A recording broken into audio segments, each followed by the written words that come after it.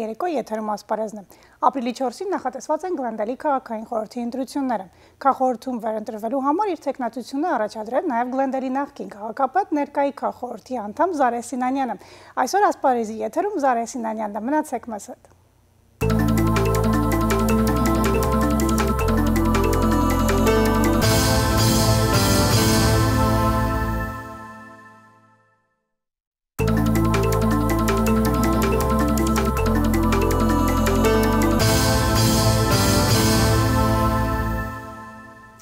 Գլանդելի քաղաքային խորհուրդը, որ տեղական կառավարման մարմինն է, բաղկացած է 5 անդամներից։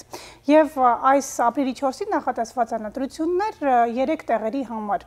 Ընտրություններին մասնակցում է 10 տեխնացու։ Տեխնացուների շարքում է նաև Գլանդելի նախկին քաղաքապետ ներկայի խորհրդի անդամ Զարե Սինանյանը եւ սիրով ողջունում եմ իմ հյուրին։ Բարի երեկո, պարոն Սինանյան, շնորհակալություն հյուրընկալվելու համար։ Ես եմ շնորհակալ։ Սիրով։ Կցանկանայի ներկայացնեք ձեր ձեռքբերումները ձեր պաշտոնավարման 4 տարիների ընթացքում, ինչպես նաև նախընտրական ծրագրերը, բայց մինչ հարցին անդրադառնալ, կցանկանայի ընթերցել ձեր նախընտրական արշավի սկզբում արված ձեր հայտարարությունը, որը որտեղ մասնավորապես նշել եք ձեր ձեռքբերումների մասին ընթերցը։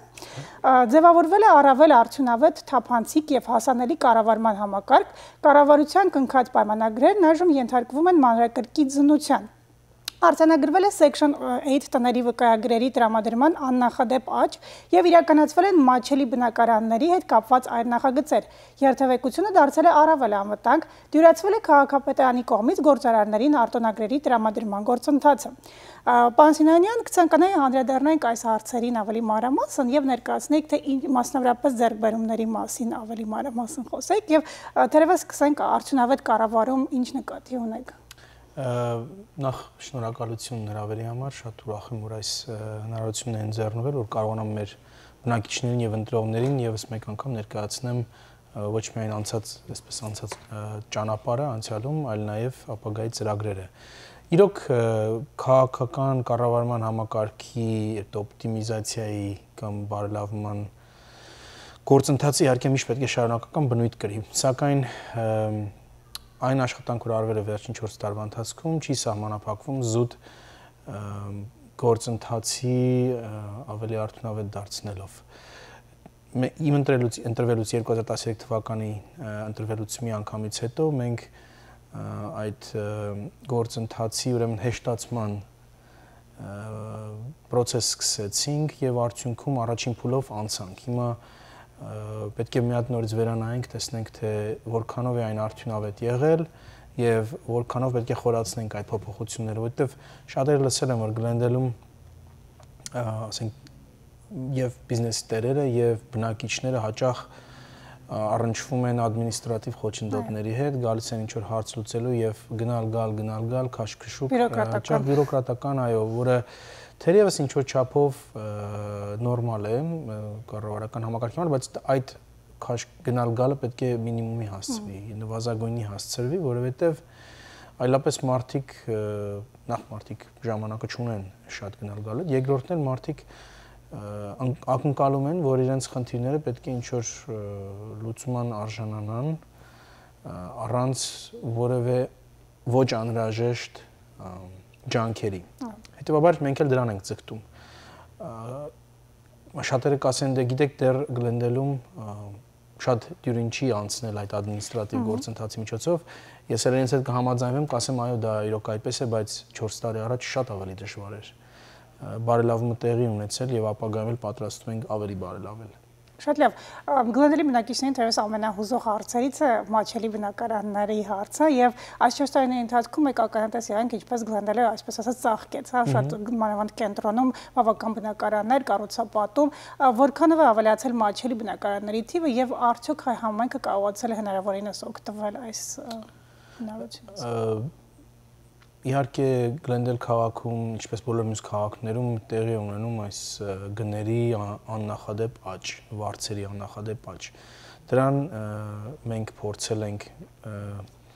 հակադարձել կամ հակակշիռ ստեղծել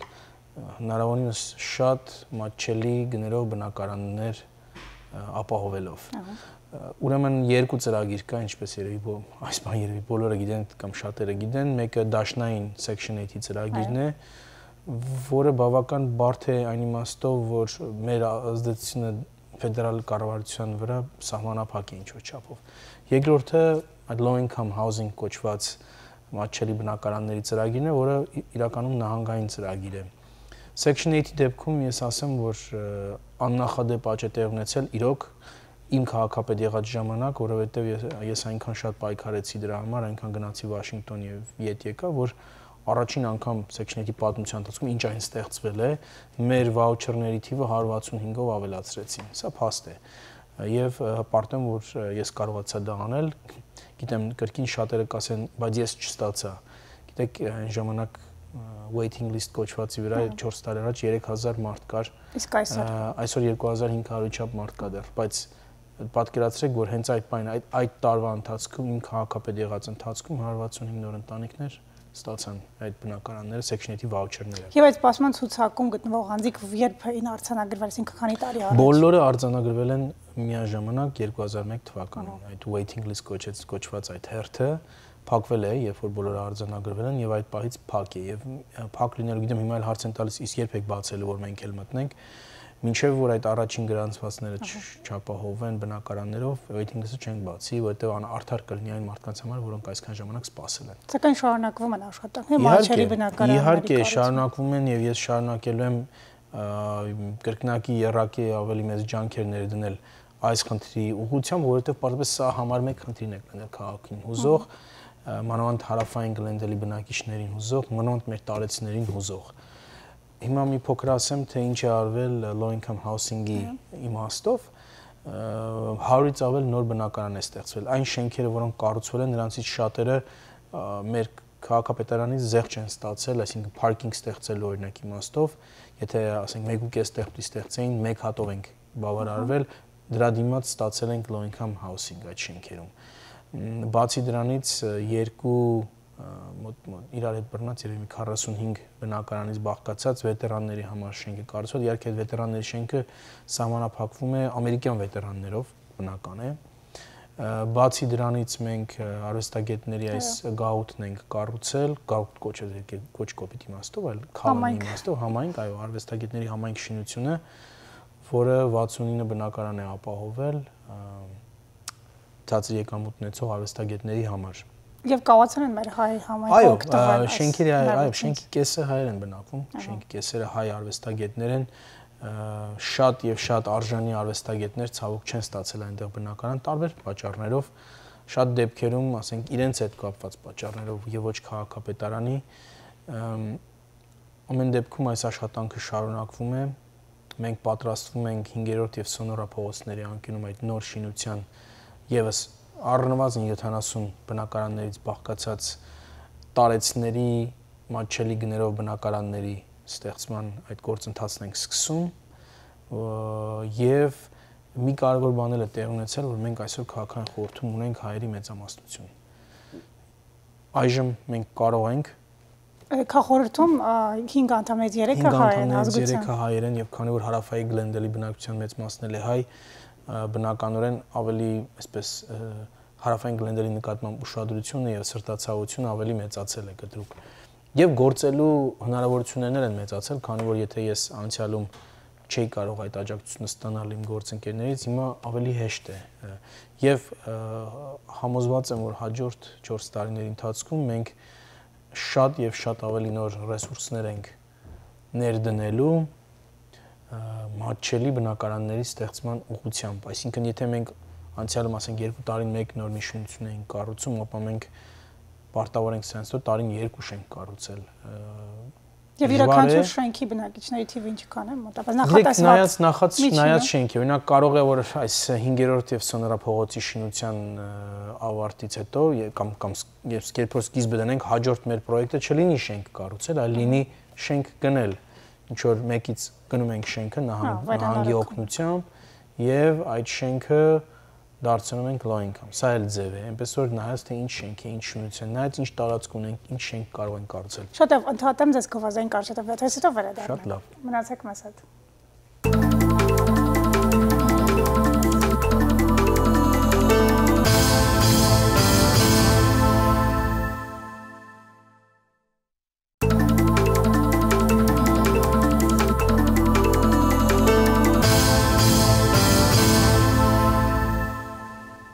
Եթերում ասպարեզն է եւ այսօր իմ հյուրն է Գլանդելի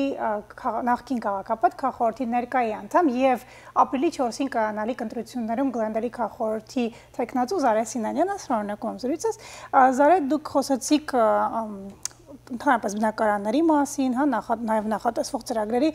եւ եւս մեկ ցավոտ հարց կա, որ գլանդալի բնակիչներին հուզում է, դա վարձերի, բնականների վարձերի բարձրացումն է, որ շատ կտրուկ տեղի ունեցավ եւ երկարամյա բնակիչներ լքեցին հեռացան գլանդալից հենց այս պատճառով։ Արդյոք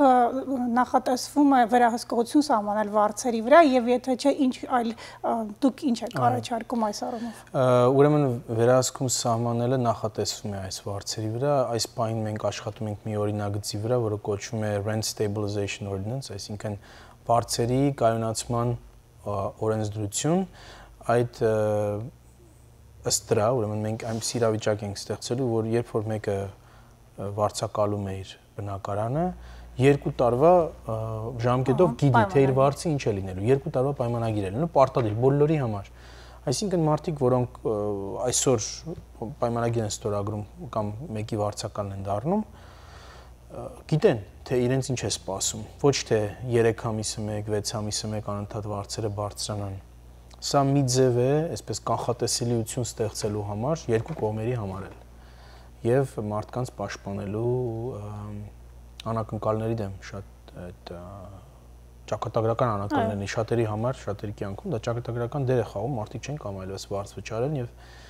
ստիպված ասենք լքում են քաղաքը։ Հիմա էլ այնպեսի վիճակ է, որ ճիշտ ասած լքելն էլ հեշտ չի, որովհետև նայնպես չի, որ կողքի քաղաքներում էժանություն է հա։ տիրում, ընդեղ էլ են ահա որ բարձրանում գները, բայց Գլենդելը լինելով ապահով մաքուր գեղեցիկ քաղաք, ավելի մեծ աճ է գրանցել, քան այլ քաղաքները։ Երկրորդը իհարկե, որի մասին շատ եւ շատ է խոսում, դա այդ rent control-ն է, որը մի բան է, որը իրագործելու համար, որը իրագործելու համար անհրաժեշտ է քվեարկություն, համակարգային քվեարկություն։ Այս պահին կա մի խումբ կազմակերպություն, որը ակտիվորեն այդ 11000 ստորագրություններն է հավաքում, Ինչ կազմակերպության մասին է խոսքը։ Մի խումբ հայր են, ճիշտ ասած, իրենց օգնում է մի իր քաղաքացիների իրավունքները պաշտպանող մի կազմակերպություն, անունը Բաստա անունով, եւ նրանք այդ 11000 քվեներն են հավաքում, որովհետեւ կարողանան հարցը դնել քվեարկության։ Այսինքն այդքան ստորագրությունների դեպքում արդեն կարող եք հարցը կարող են դնել այո քաղաքապետարանի ընտրությունների ժամանակ դրվի քվեարկության։ Դա արդեն հաջորդ տարի թերևս։ Դե նայած երբ կհավաքեն այդ ստորագրությունները եւ բոլոր ստորագրությունները հավաքում պետք է լինեն քաղաքացիների ստորագրություններ բնական է։ Երբ այն դրվի քվեարկության, այն պետք է նաեւ մեծամասնությամբ անցնի, որpիսի ըստ դրա քաղաքի սահմանադրության մեջ գրվի, որ Glendale rent control քաղաք է։ Ահա այդ դեպքում հնարավոր կլինի rent control ստեղծել։ Այսինքն կրկին համայնքը պետք է ակտիվ լինի այս առումով։ Համայնքը պետք է ակտիվ լինի ոչ միայն դրանում, այլ նաև ընտրության ժամանակ էլ պետք է մեծամասնությունը լինի քվեների եւ ոչ փոքրամասնությունը։ Մինչ այս ամենը տեղի է ունենում, մարդիկ նույն այս խնդրի արժև են կանգնած, հետեւաբար մենք էլ պետք է սրան զուգահեռ շարունակենք այդ մաչերի բնակարանների ստեղծումը այդ գործընթացը պետք է շարունակական լինի, որովհետև չգիտենք, որը հաջող կլինի, որը անհաջող կլինի։ Մենք պետք չի որ մի միջոցով փորձենք պայքարել սրա դեմ, մի քանի միջոցներով պայքարենք, որպեսզի գոնե մեկը գործի, եթե մյուսները չեն գործելու։ Այսինքն մաչելի բնակարանի հարցը շարունակում է մնալ ձեր ծրագրային առաջնահերթություններից։ Անկասկած, անկասկած, դա մի այնպիսի խնդիր է, որ ասեմ ավելի գլոբալ ձևով բացատրություն տամ։ Անկասկած մեր համայնքը ուզում է եւ իհարկե ես ինձ այդ համանքի անբաժանելի մաս եմ համարում, ուզում է իր ներկա գերակա, այսպես ազգային մեծամասնության վիճակը պահպանել գլենդելում։ Իհարկե մենք մեծամասնություն չենք բացարձակ թվերով, բայց մենք համեմատած բոլոր այլ խմբերի հետ բացարձակ մեծամասնություն ենք։ Եվ ուզում ենք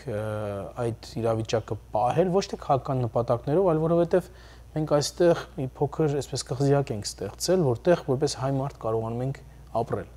Այսինքն Եվ եթե ապրում ենք, ուրեմն արժանապատվորեն ապրենք եւ օգտվենք բոլոր հնարավորություններից։ Իհարկե, եւ բայց միևնույն ժամանակ այդ մեր մենք որոշ մեր մշակույթի ատրիբուտները կարողացել ենք փոխանցել այստեղ։ Եթե ծրվենք, ասենք Լոս Անջելեսով մեկ կամ Լոս Անջելեսից էլ նույնիսկ դուրս, բնական է դժվար է լինելու որպես հայ ապրելը, դժվար է լինելու համայնքային պայմանները պահպանելը։ Կարծում եմ երկարաժամկետ իմաստով դա իրագործելի է, միևնույն է, բայց գոնե կարճ ժամկետ իմաստով ես օրինակ գոնե ուզում եմ այնպես լինի, որ մեր հաջորդ ծերունդը, մեր երեխաները հայկական միջավայրում մեծանան, որովհետեւ մշակութային կապը չկորցնեն իրենց արմատների արմատների կապը։ Սա է, եթե մարդիկ սկսեն մեծ քանակությամբ հեռանալ գլենդելից, մենք ուրեմն այս համայնքը դատապարտված է։ Եվ յուրաքանչյուր ձեր պատասխանից հետո ես կրկին ցանկամ կոչով մեր հա, համակարգացիներին, որ չզլանան եւ ապրիլի 4-ին անպայման մասնակցեն Գլանդելի քաղաքորդի ընտրություններին եւ մենք ընտրեն Զարե Սինանյանին եւ մենք ունենանք մեր ձայնը վստահելի ձայնը Գլանդելի քաղաքորդում։ Դուք ձեր գործով եք ապացուցել ձեր խոսքը նախորդ 4 տարիների ընթացքում եւ այս մասին խոսեցիք ցանկային անդրադառնալ եւս մեկ կարևոր հարցի ջրի եւ էլեկտրականության բնակչության սակագներին, որոնք կրկին անհանգստացնում են բնակիչներին եւ դուք այն քաղաքական գործիչն եք, ով դեմ քվարկեց այս սակագների բարձրացումը դեռ տարիներ առաջ։ Այսօր ինչ իրավիճակ է տիրում այս հարցում եւ արդյոք շարունակելու է բարձրացումը կամ կասեցում կլինի գոնե այս բանը։ Եթե հիշում եք 2013 թվականի ընտրապայքարի ընթացքում այդ էլեկտրականության ջրի սակագների բարձրացման խնդիրը շատ կարևոր տեղ էր գրավում Ես այն ժամանակ էլ ասացի, որ երբեք չեմ համաձայնվի դրան, որովհետև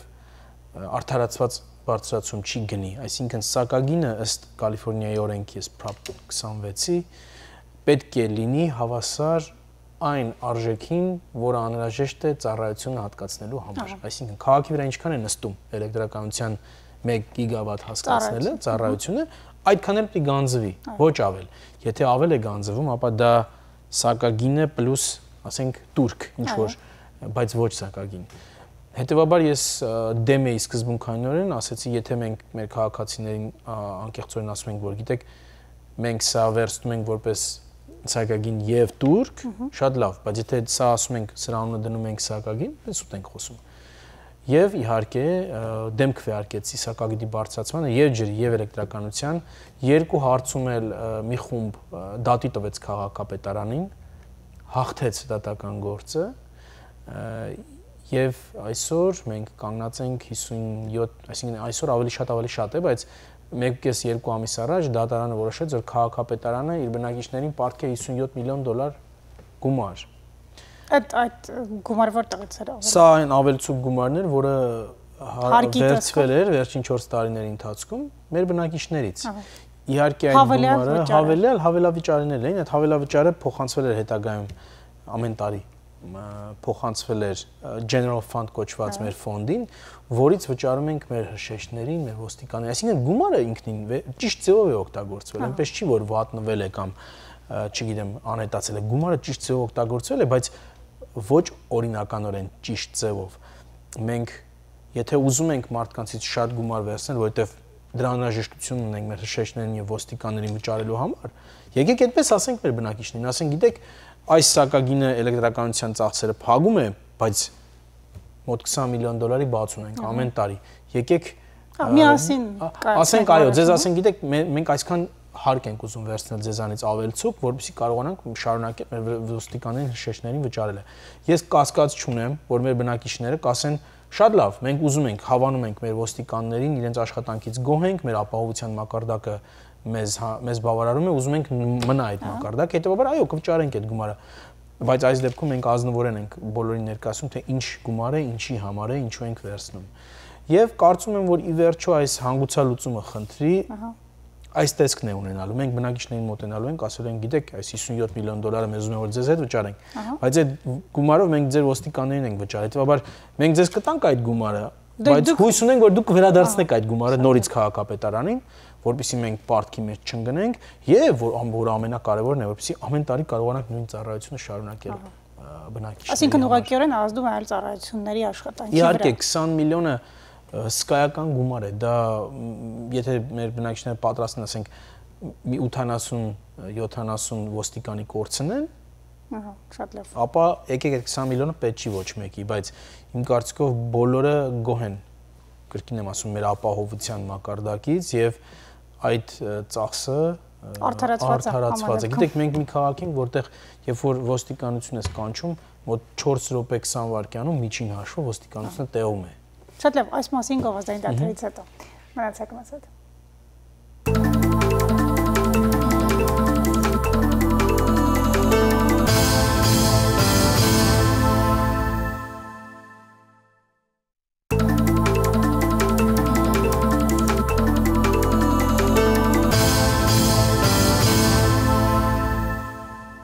Եթերում ասպարեզն է։ Սերի հերոստայի տոները ապրիլի 4-ին նախատեսված են Գլանդելի քաղաքորդի ընտրությունները, որին մասնակցում է նաև Գլանդելի նախկին քաղաքապետ ներկայի քաղաքորդի անդամ Զարե Սինանյանը, ում հյուրընկալել եմ այսօր ասպարեզի տաղավարում եւ շարունակում եմ զրույցս։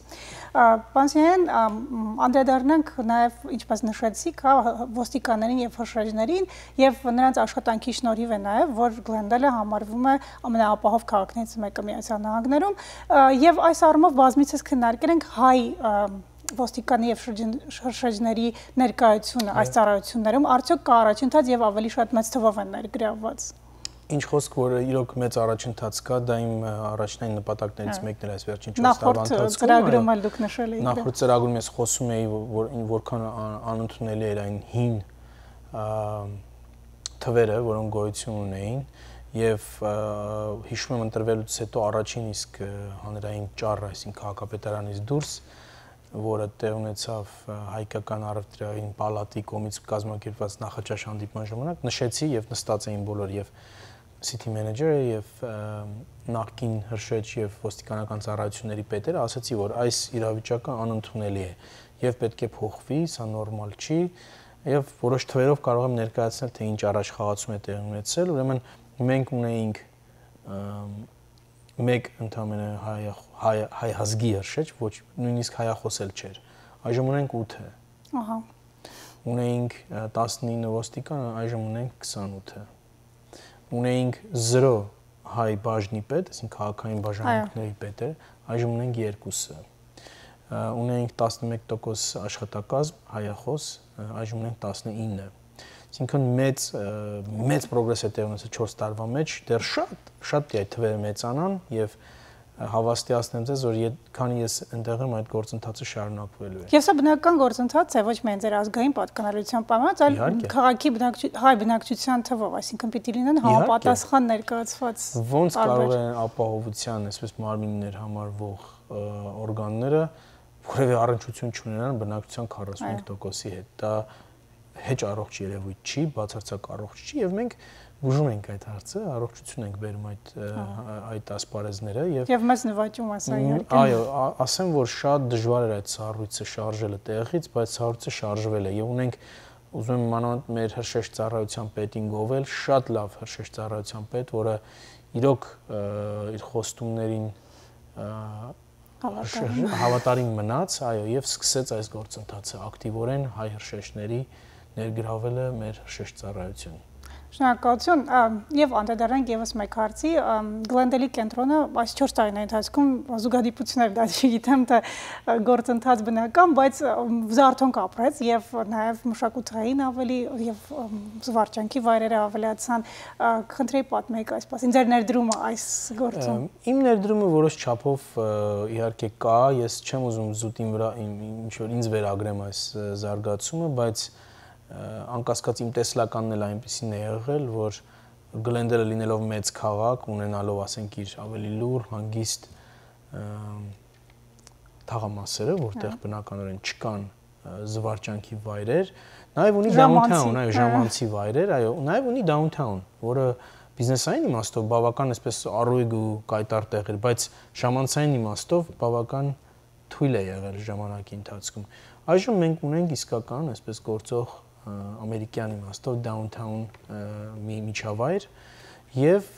անձամբ ես ուրախ եմ դրանով, որովհետեւ գիտեք մենք այլևս պետք չի որ հեռու գնանք, գնանք ինչ-որ Փասադինա հասնենք կամ գնանք ավելի վատ գնանք West Side, որպեսզի ինչ-որ տարական ժամանցի վայր գտնենք։ Գլենդելում կա այդ ամենը, կա, բայց շատ լավ մակարդակով, նորից մաքուր, որևէ, գիտեք, խնդիրներ չունենք, ինչ որ հանցանքի այդ իմաստով որևէ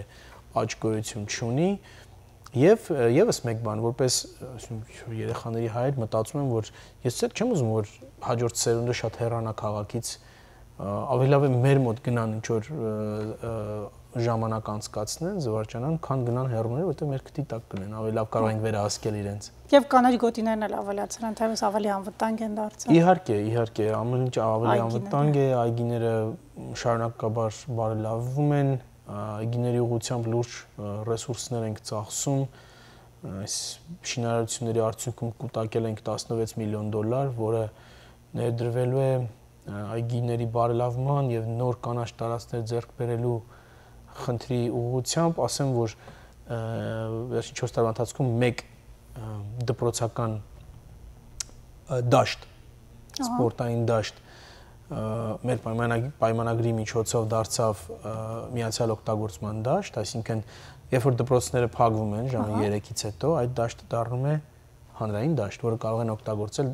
ֆուտբոլի դպրոցները, բեյսբոլի դպրոցները, այո, մարզահրապարակ է դառնում հանրային։ Ինչին որ մեկի մասին է խոսքը։ Խոսքը առաջինը Pacific Edison դպրոցի այդ դաշտն էր, որը եթե գնաք ժամը 3-ից հետո ֆուտբոլային թիմերը շարված են, սպասում են որ խաղան,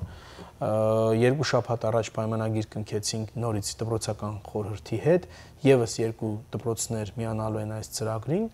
շատ ուրախ ենք, որովհետև մենք չեղած տեղից կանաչ տարածք ենք ստեղծում, բացում ենք այն հանրության առջև եւ երեխաներին համար էլ ստեղծում ենք դպրոցից հետո սպորտային ծրագրերին մասնակցելու հնարավորություն։ Շատ լավ։ Այս համախաղաքային խնդիրներին զուգահեռ դուք նաև հայ համայնքի շահեցի հետաքրքրությունից բխող ծրագրեր եք իրականացնում եւ հայ-ամերիկյան թանգարանի մասին է խոսքը։ Կխնդրեի ներկայացնեք ինչ փուլում է գտնվում այսօր։ Բանակցային փուլում է գտնվում։ Այն ասեմ, որ շատ ողջորված եմ ես էլ այդ ծրագրի, այսպես տեսլականով, որովհետեւ կարծում եմ, որ վերջապես մենք մի բան կստեղծենք այս քաղաքում, որը մնայուն է, որը նույնիսկ եթե համայնքը Աստվածոչանի շատ հույսամ հույսամ շատ տարիներ հետո երբ որ համայնքը ավելի ծրվի, որը թերևս անխուսափելի է ինչ որ չափով, ապա այդ թանգարանը կլինի այնտեղ եւ միշտ կներկայացնի մի ապացույց մեր ներկայության Գլենդել քաղաքում իսկ մինչ այդ մենք շատ պրակտիկ ծրագրեր ենք կանխատեսում նախատեսում այդ թանգարանի համար եւ քաղաքապետարանն էլ իհարկե բանակցում է այս բանին որպեսզի այնպիսի մի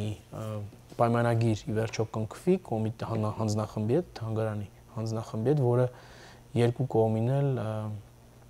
բավարարի եւ երկու կողմի համար էլ դրական լինի։ Շատ լավ, եւ այս բոլոր ծրագրերը նկատնում նաեւ հայանպաստ կամ հայերին առնչվող հնարավոր են դառնում ավելի դյուրությամբ իրականացնել, քանի որ մենք կրկին անդրադառնանք այս թեմային գլանդալի քախորտում ունենք մեծամասնություն հայերի, մեծամասնություն հայկական, որքանով է արդյոք սա նպաստել է, որպիսի իրականացվեն ավելի շատ ծրագրեր անկասկած։ Երեք անդամների անկասկած ես ձեզ Ես ձեզ հավաստիացնեմ 3 անդամ, եթե մեծամասնից դե չլիներ քաղաքային խորհրդում, մենք այն չէինք կարող նույնիսկ սկսել այս գործընթացը։ 3 քաղաքային խորհրդի անդամ ունենալը շատ որոշիչ որոշիչ դեր է խաղում այս ամենի մեջ որոշիչ դեր է խաղում նույնիսկ հրշեջ ծառայության այդ փոփոխությունների իմաստով որոշիչ դեր է խաղում ապագայում որևէ խնդիր որ մենք ունենանք այդ խնդիրների լուծման իմաստով ասեմ ես որ խոսում էի որ շատ ավելի շատ ռեսուրսներ եւ քաղաքական այսպես ներդրում կամ էներգիա ենք գործածելու ավելի շատ մատչելի բնակարաններ ստեղծելու համար եթե մենք կորցնենք մեծամասնությունը հավաստիացնեմ մոռացեք դրա մասին չի լինելու չի լինելու որովհետեւ այն մարդիկ որոնք այդ կապը չունեն անմիջական հարավային գլենդեր հետ կապը չունեն նոր եկած մեր հայրենակիցների հետ կամ տարեցների հետ նրանք շահագրգռված չեն սրանով նրանք շատ ուրիշ ձևեր գտնեն գումարները ծախսելու համար հետեւաբար մեծամասնություն ունենալը որոշիչ է եւ անկասկած ես շատ կուզեմ որ մենք այս ընտրությունների արդյունքում պահպանենք այդ մեծամասնությունը շատ լավ շնորհակալություն գովազդային դաթայից հետո վերադառնանք մնացեք մեզ հետ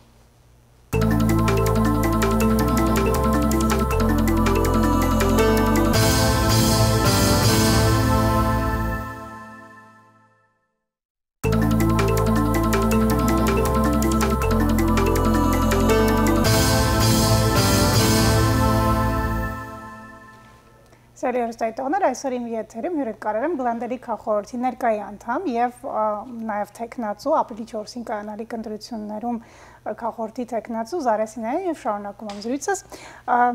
Կցանկանայի անդրադառնայինք ընտրություններին մասնակցելու կարևորությանը եւ կոչ անենք եւս մեկ անգամ մեր քաղաքացիներին ավելի ակտիվ լինել, որովհետեւ մենք ծրագրում նշված էր բոլոր հարցերը ավելի դյուրությամբ կլուծվեն իմ նպաստ նաեւ հայ համայնքի հենց նրանց այս ապրիլի 4-ին մասնակցության արդյունքում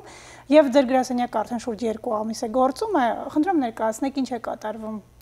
Սիրով, ուրեմն իհարկե նախընտրական գրասենյակը գործում է հունվարի սկզբից, մենք գտնվում ենք 6600 San Fernando Road հասցեով, դա Western եւ San Fernando փողոցների հատման կետում է եւ մեր հեռախոսամարն է 818 484 81 1-4 որևէ խնդիր եթե ունեք, որևէ օգնություն եթե մենք կարող ենք ձեզ ցուցաբերել, որպեսզի ավելի հեշտ դարձնենք ձեր համար քվեարկելը, անպայման մեզ դիմեք 818 484 8114 հեռախոսահամարով։ Ուրեմն ընտրական պայքարը, ընտրապայքարը մոտենում է վերջնական փուլին։ Փաստորեն մոտ արդեն 10 երևի 5 օր է, ինչ ընտրաթերթիկները արդեն եկել են կամ գալիս են մեր մեր հայնակիցներին այն մարդկանց համար, որոնք տնից են քվեարկում, այո, եւ հետեւաբար հնարավորություն է ընձեռնվել քվեարկելու համար։ Մինչև երբ կարող են։ Մինչև ընտրության օրը, մինչև, այո, իհարկե որքան ուշ որ քվեարկեն, այնքան ուշ են հաշվելու իրենց քվեները, այսինքն ընտրության գիշերը մենք չենք իմանալու, որ իրենք քվեարկել են կմնա մինչև վերջ, վերջին քվեաթերթիկները հաշվելուց դե հետո նոր կիմանանք իրականությունը։ Բայց ամեն դեպքում իրեն կարող մինչև վերջին օրը քվեարկել, կարող են վերջին օրը նույնիսկ քվեաթերթիկը բերել եւ ընտրատարածքում հանձնել։ Բացի ուրեմն post-ով այդ քվեարկելու, եթե որևէ մեկը կրկնում օգնության կարիք ունի, թող զանգարեն մեր հեռախոսահամարը, ահա պաստարի վրա երևում է մենք ցանկացած օգնություն կարող ենք իրենց ցուցաբերել, բայց նաև Գլենդել քաղաքը բացել է իր ընտրական կենտրոնը ոստիկանության շենքի առաջին հարգում, conference այդ սենյակում, community room, որտեղ մարդիկ կարող են քվեարկել առավոտվա 8-ից մինչև ժամը 5-ը ամեն օր։ Այսօր էլ։ Այսօր էլ, որևէ սпасելու կարիք չունեն, եթե ուզում են քվեարկել այսօր, եթե այդպես են տրամադրված, պետք չի որ գրանցված լինեն absentee, այսինքն տնից քվեարկելու համար, parzapes գնում եք այնտեղ, ձեզ ինչ որ հարցեր են տալիս, լրացնում են ձեր ինչ որ ինչ որ մի հատ թուղթ եք լրացնում, եւ ձեզ provisional ballot են տալիս, այսինքն պայմանական քվեաթերթիկ են տալիս եւ տեղում կարող եք քվեարկել Սպասել ապրիլի 4-ին։ Պետք չի սպասել ապրիլի 4-ին, եթե ձեզ այդպես հարմար է։ Կրկին, եթե օգնության կարիք ունեք, ուզում եք այնտեղ գնալ եւ ինչ որ մենք ձեզ կարող ենք աջակցել այդ հարցում, զանգարեք 818 484 81 14 հեռախոսահամարով եւ մենք անպայման ձեզ կօգնենք այս հարցում։ Այսինքն օգնել ասելով նկատի ունեք թե լեզվական օգնություն, թե հուշել խորուրդ, թե ինչ ինչպես ընտրել արդեն տեխնիկապես։ Այո, կամ մարդիկ միգուցե հաշմանդամ են եւ չեն կարողանում այդ վայրը հասնել դրա ինչ որ տեղափոխման կարիք ունեն, մենք փորձենք ամեն կերպ օգնել եւ անպայման կօգնենք։ Սա է ընտրությունը ուրեմն բոլոր ընտրությունների պես է կա իր իր առանձնահատուկ դրական եւ բացասական կողմերով, ասեմ որ ամեն ընտրություններում գիտեք այս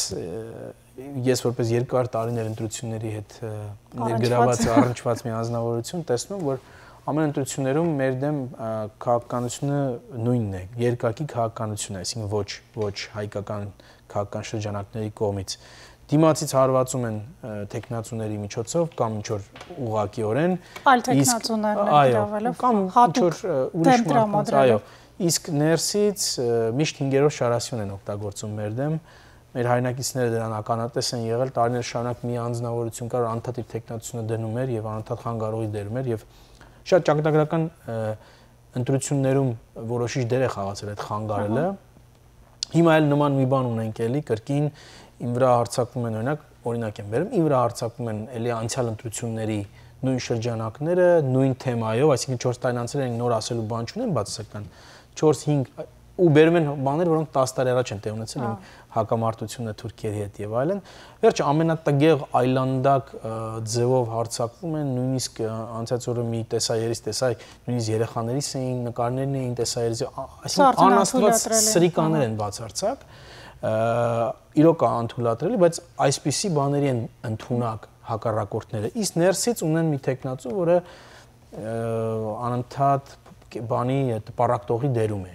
հարցակվում է գործող քաղաքական խորհրդի անդամների վրա, ասում է 4 տարի ոչինչ չեն արել, ինքը ամեն ինչ անելու է բոլորի համար, ընդ որում մանավանդ իհարկե տարեցներին խոստանում է, որ բոլորին բաժանելու է section 8, բոլորին բաժանելու է low income housing, այսինքն բաներ, որոնք բացարձակ սուտ են, անիրագործելի բաներ են, այսինքն անիրագործելի նման ռեսուրսներ գնել քաղաքում գոյություն չունեն։ Այսինքն հայ տեխնացու հայ տեխնացուների հանդեպ ովքեր իսկապես գործ են անում, նույն մարտավարությունը չի փոխվել տարիներ շարունակ եւ այսօր էլ նույն բնույթով շարունակ։ Բացարձակ չի փոխվում։ Գիտեք, որտեվ իրենց համար ընդհանուր առմամբ գործել է այդ մարտավարությունը, մտածում են ինչու փոխեն։ Անցյալ անգամ իմ ընտրությունների ժամանակ չգործեց այդ մարտավարությունը։ Իրենք տանուլ տվեցին, որտեվ համայնքը ուզեց, որ ես ընտրվեմ եւ ինձ ընտրեցին։ Հիմա ես հույսով եմ, որ նույն բանն է կրկնվելու, համայնքը նորից դրականորեն է տրամադրված, հույսամ որ իմ 5 տարի, 4 տարիների այս խոնար աշխատանքը եւ նվիրված աշխատանքը գնահատվում է համայնքի կողմից։ Իհարկե թվերը ամեն ինչ ցույց կտան, կապացուցեն, բայց խանգարողները մինչ այդ խանգարելու են դիմացից ամենազզվելի ձևով հարցակվելու են, ամենաստոր ձևով իսկ ներսից պարակտելու են, ասեմ մենակ ներսից պարակտելու այդ այդ նույն տեխնացուի կոմնակիցներից մեկը մեքենայով պատտվում էր եւ մեր բոլոր լոնսայները հավաքում էր։ Հարյուրավոր լոնսայն է գողացել այդ մարդը։ Մի մարդ, որ իրեն ներկայացնում է որպես իբթե իբթե ինքը ազատամարտիկ եղել, բայց իրականում իհարկե որ երբեք զենք զենքեր չի բռնել ձեռքը։ Հա, հա, հայ տեխնացուի մարդիկ գործակալները դա անում են եւ այսինքն տեղ վիճակ են ստեղծում ու անընդհատ այդ վասակցությունը դերը միշտ կա այս համայնքում։ Ինչ որ մեկը ուզում է այդ դերը խաղալ իր ինչ որ անձնական парքի թե հնչակախտության համար եւ ինչն է ամենասարսափելին, որ այդ մեր տարեցներին կեղծ խոստումներ են տալիս, մարդկանց մոլորեցնում են, գնում են մարդկանց տները, ասում են մենք այս տեխնացուի անունից ենք, այդ նույն մարդու մոտից ենք եկել եւ երբ որ տարեց ասում է լավ ես իրեն ձայն կտամ բայց ասենք զարահին էլ պիտի տամ ձերքից բարեսի մաս բուն իմաստով խլում են ընտրա թերթիկը դնում են ծրարի մեջ ասում են չէ պետք չի ինքը արդեն ընտրվել է դու ես հիշում եմ նույն բանը անցյալ ընտրություններին այն մյուս տեխնացուները ասում ասում էր ձայն մի տվեք ինքը արդեն ընտրվել է կարիք չունի այսինքն մարդկանց մոլորեստում են օրենք են խախտում ասեմ որ դա նաև օրինախախտություն է որ մարդու ազատ կամքի վրա բռնանում են Այսպես ամեն ոչ մի բան սրբություն չկա նման մարդկանց համար, ամեն ինչ խախտում են, ամեն ինչ սուտ են ասում եւ զուտ միայն ընտրվելու համար։ Եվ այս դեպքում միակ մեր հակադարձումը կլինի, որ հնարավոր մեծ թվով մասնակցությունը եւ ընտրելը։ Համար 1 լուծումը, բուժ բուժումը այս հիվանդության մեծ թվերով մասնակցելն է։ Նոյեմբեր ամսին մենք 20000 քվեարկող ենք ունեցել, որը աննախադեպ թիվ է։ Իհարկե այդ ընտրություններին մեր տեխնացուն Արտաշես Քասախյանը պարտվեց, որը շատ մտորման տեղ է տալիս մեզ անանք ստանալու, բայց այդ փաս այն փաստորեն մենք գլենդելից միայն 20000 հայի մասնակցությունը ապահովեցինք, դա իհարկե մեծ նվաճում է մեզ համար։ Մանավանդ որ հաշվի ենք առնում, որ 99 թվին ընդամենը 800 գրանցված հայ քվեարկող կար։ Բայց ես վախենում եմ, որ այս նախագահական ընտրությունների խմորումներից հետո մարդիկ հիասթափված են կամ հոգնած են, չեն ուզում մասնակցել քաղաքական գործընթացների, դա ամենավատ բանը կլինի, եթե մեր հայնակիցները կամ ապաթիայի մեջ, ասինքն գրավորական ինչ որ վիճակի մեջ, անտարբերության մեջ հայտնվեն կամ հոգնածության պատճառով չմասնակցեն։ Հիշեցնեմ, բոլորին ընդամենը 10-15 րոպե անհրաժեշտ տնից կամ ֆիզիկապես ներկա լինելու եւ քվեարկելու համար։ Եվ ցավալի կլինի, որ մենք եւս մեկ անգամ, երբ որ հնարավորություն ունենք մեր քաղաքական ուժը ցույց տալու, չօգտվենք այդ առիթից եւ չցուցադրենք մեր քաղաքական հասունությունն ու ուժը։ Ինչ խնդիր որ ունենք, մենք կարող ենք միայն լուծել։ Մեր համար ոչ ոք ոչ ոք խնդիր չի լուծելու։ Հետևաբար հույսներս մենք ենք եւ մեր ներկայացուցիչներն են։ Ես էլ իմ 4 տարիների ընթացքում փորձել եմ միշտ հաշվետու լինել, փորձել եմ դռներս միշտ բաց են եղել բոլորի համար, լսել եմ եւ ամեն ինչ արել եմ, որպեսզի իմ ծառայությունը լինի հանուն քաղաքի հանուն համայնքի։ Շատ լավ, այսօր հաղորդման ընթացքում դուք ներկայացրեցիք թվեր, որոնք ինքնին արդեն խոսում են ես ցանկանում ձեզ հաջողություններ, ձեր հաջողությունը մեր բոլորի հաջողությունն է եւ կարծում եմ ապրիլի 5-ին մենք արդեն կդիմավորենք ձեզ որպես մեր նոր քաղաքորդի անդամ։ Հաջողություն եւս մեկ անգամ եւ հրաժեշտ եմ տալիս ձեզ։ Սիրելի հերոստատիտողներ, կցանկանայի եւս մեկ անգամ հիշեցնել, որ ապրիլի 4-ին նախատեսված են Գլենդալի քաղաքորդի ընտրությունները։ Այս ընտրություններին դուք կարող եք մասնակցել փոստով, եթե տանից քվեարկող եք, կամ ինչպես նշեց Զարայ Սինանյանը, բացվել է ընտրական կենտրոն, որտեղ կարող եք ոչ սպաս սպասել ապրիլի 4-ին եւ գնալ ընտրել երբ ձեզ հարմար է։ Ինչպես նաև ապրիլի 4-ի ընտրությունները առավոտյան ժամը 7-ից կբացվեն ընտրատեղամասերը եւ հորդորում եմ բոլորին մասնակցել, որպիսի կարողանանք նաև մենք մեր բաժինը, մենք մեր մասնակցություն ունենալ ընտրությունների կայացման գործընթաց, որոշումների կայացման գործընթացներում։ Այսքանով հրաժեշտ եմ տալիս ձեզ եւ ցանկանում հաճելի երեկո։